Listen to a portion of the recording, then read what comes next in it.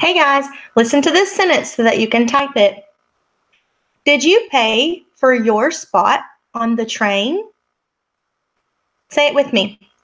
Did you pay for your spot on the train? Let's pound it together.